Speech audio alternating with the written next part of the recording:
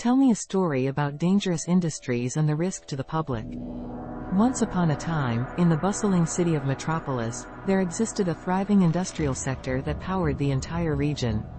The city's economy heavily relied on a multitude of dangerous industries, each with its own unique risks to the public. One such industry was the chemical plant, situated on the outskirts of the city. The plant produced a wide range of chemicals that were essential for various purposes, from manufacturing to agriculture. However, the hazardous nature of these chemicals posed a constant threat to the surrounding communities. One fateful day, a catastrophic accident occurred at the chemical plant. A massive explosion ripped through the facility, sending plumes of toxic smoke billowing into the air.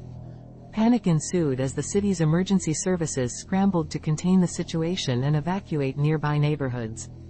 The explosion not only caused immediate danger to the plant workers but also posed a severe risk to the public. Toxic fumes contaminated the air, making it difficult to breathe and causing respiratory distress among those exposed. The surrounding waterways, critical sources of drinking water for the city, became polluted with harmful chemicals, endangering the health of the entire population. As the crisis unfolded, the city's residents faced a difficult decision. Many had to abandon their homes, leaving behind their belongings and cherished memories. Families sought refuge in temporary shelters, uncertain of when they could return to their normal lives. In the aftermath of the chemical plant disaster, the city's leadership faced immense pressure to address the risks posed by dangerous industries.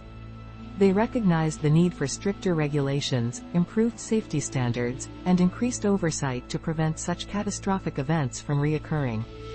Public outcry grew, demanding justice for those affected and stronger measures to protect the community. Environmental activists, scientists, and concerned citizens rallied together, advocating for the adoption of sustainable practices that would reduce the reliance on hazardous industries and promote safer alternatives. Through perseverance and unity, the city of Metropolis gradually transformed its industrial landscape. Stricter regulations were implemented, ensuring that dangerous industries were held accountable for their actions. Companies were compelled to invest in advanced safety measures, training programs, and emergency response protocols. Over time, the city's industrial sector underwent a significant shift. Dangerous industries were gradually replaced with cleaner, greener alternatives. The focus shifted towards sustainable energy, technology, and innovation, reducing the risks posed to the public and the environment. Metropolis became a beacon of change, showing the world that dangerous industries could be transformed into safer, more sustainable endeavors. The lessons learned from the past shaped a future where the well-being of the public and the preservation of the environment were paramount.